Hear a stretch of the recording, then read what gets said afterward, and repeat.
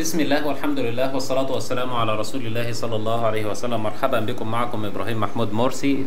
الفيديو الحالي بعنوان أرشفة ملفات الإكسل في المجلد الحالي أو عمل فهرس لملفات الإكسل في الملف الإكسل الحالي. القصة كلها إن أنا عندي sheet للإكسل أو files ملفات إكسل كتير. ماشي؟ والملفات دي فيها يعني عملاء وكده وأنا عاوز أعمل فهرس هنا كده لملفات الإكسل اللي عندي. بحيث إن لما نضغط على الاسم الملف يفتح لي ملف الإكسل لا أنا عاوز العميل الفلاني يفتح لي الملف. مش آه، صفحات هنا ولكن ملفات إكسل في folder تاني. وال folder ده عاوزين نعمله فهرسه هنا أو أرشفة أو كده يعني.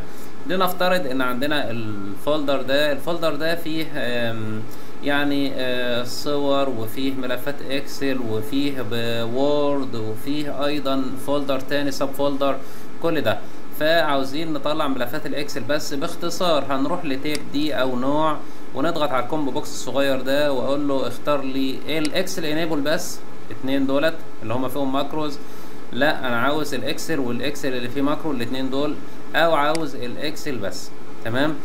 ومش بس كده أنا ممكن أعمل فلتر كمان للملفات اللي هي أصغر من آه، صغيره خالص اللي حجمها صغير أو الملفات اللي هي حجمها كبير. تمام؟ فخلينا كده نسيب الفلتر ده عادي كده نلغي الفلترة دي وهروح للأسماء دي. لا أنا عاوز العملاء بس ده ال date طبعا فهروح للأسماء من هنا. آه ممكن هنا كمان من ال date ال filter بتاع ال date ده ممكن أختار آه تاريخ معين أو آم، الأسبوع الماضي أو today كده يعني. مش دي قصتنا. أنا هروح هنا بس عاوز أعمل تقليل للحجم ده شوية فهختار ده وده. وده وده وده. مثلا كده المجموعة دي بس اللي هعمل لها الأرشفة. خلاص؟ المجموعة دي مجموعة العملاء دول أو مجموعة البيانات دي أنا عاوز أخدها من هنا أعمل لها آه، أرشيف أو فهرس في ملف الإكسل بتاعي. فهحددها كده وهضغط click يمين. عشان أنسخ المسار بتاعها. للأسف إن القائمة دي ما فيهاش آه، نسخ كمسار. لازم تضغط على زر shift من لوحة المفاتيح وبعدين تضغط click يمين عشان تظهر معانا القائمة دي. والقائمة دي هنا حاليا فيها copy as path ماشي نسخ كمسار. نضغط كده على copy as path خدت كده أنا ال- المسارات أو العنوان بتاع الشغل ده؟ ولاحظ إن المسار بتاعنا بيبدأ ب this PC اللي هو الكمبيوتر الحالي وبعد كده ال partition اللي اسمه G وبعدين folder اسمه شغل و folder اسمه تدريبات اكسل وده طبعا ال filters اللي إحنا حددناها حاليا. طيب بعد كده أنا عندي حاليا نسخت المسار في الذاكرة عندي. هضغط هنا click يمين وأختار paste فهيظهر معايا الشغل بتاعي ده اللي هو إيه؟ أسماء الملفات مش بس الأسماء ده المسار بتاعها كمان. فعاوز أتخلص من المسار الطويل ده وأحتفظ بالاسم فقط فهنا هضغط على أول تحرير لأول خلية معايا وهختار الاسم الملف بالامتداد بتاعه وأختار control C أو copy ماشي؟ ونضغط على escape وبعد كده نروح للخلية اللي جنبها اللي جنبها دي ونختار بس يعني اعمل لصق هنا. ده اسم الملف مع الامتداد بتاعه. وبعد كده نعمل آه، double click على مقبض السحب من هنا فهيتم أو نسحب الخلية دي فيتم آه، يعني ملء النطاق بمعلومية ال- العمود المجاور. هتقول لي ده حاليا كتب نفس الكلمة. أنا عاوز هنا يكتب لي اسم الملف الجديد.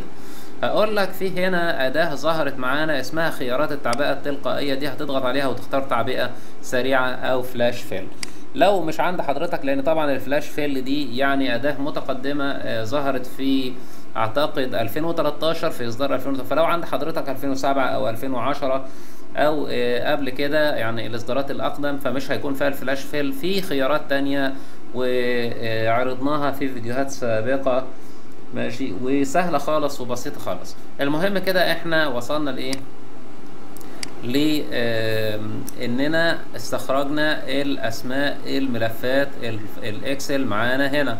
وده الاسم الملف بالمسار بتاعه. آه هنا ببساطة ممكن أستخدم دالة hyperlink هقول له يساوي hyperlink طبعا بال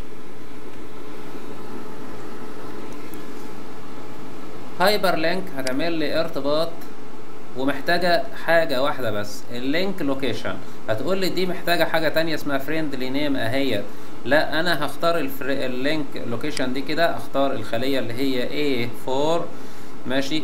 وهقول لك إن لو عملنا فاصلة منقوطة كده لاحظ إن ال friendly name أو الاسم الصديق ده.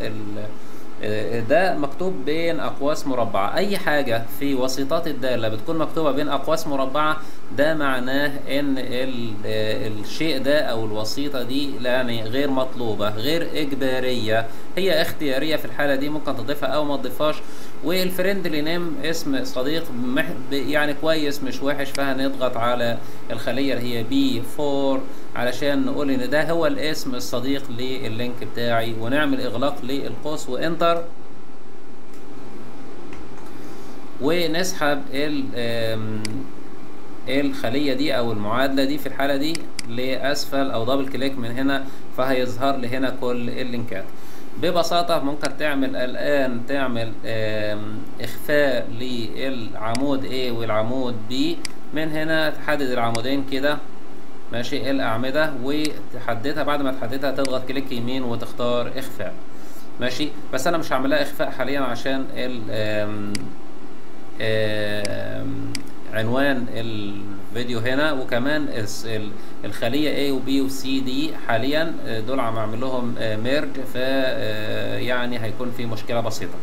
فده مش موضوعنا. المهم حاليا إن أنا لو ضغطت حاليا على كلمة مثلا ولتكن لعبة في اكسل دي فمباشرة هيروح يفتح ال folder اللي فيه ال file ده ويفتح ال file اللي هو اسمه لعبة في أو لعبة في الإكسل. وهتلاحظ إنها فتحت معانا أهيت. دي اللعبة اللي معانا اللي هي كنا عرضناها أيضا في فيديو سابق وده اللعبة دي تم برمجتها كاملة بالإكسل من خلال الإكسل. وبدون يعني أكواد وبطريقة بسيطة خالص وشرحناها في فيديو سابق.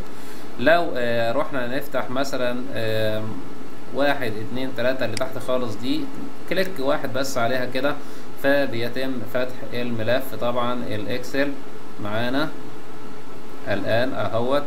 ماشي بدأ يفتح معانا الملف اللي هو اسمه واحد اتنين تلاتة دوت إكس إي إل إس إكس. تمام؟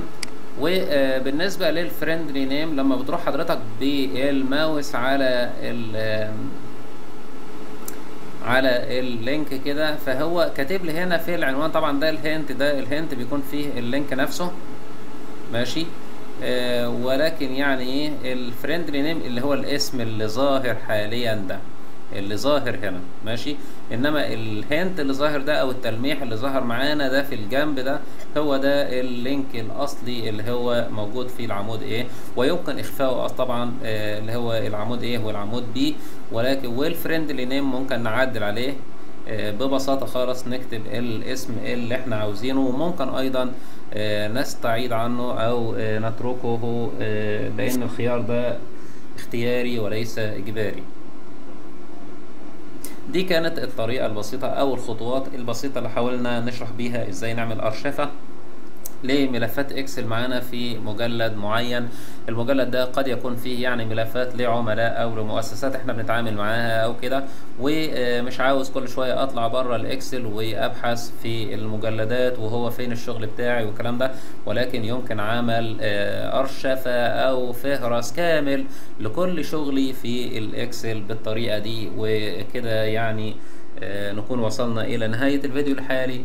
شكرا لمشاهدتكم الطيبة وإلى لقاء قريب. كنت معكم إبراهيم محمود مرسي. والسلام عليكم ورحمة الله وبركاته.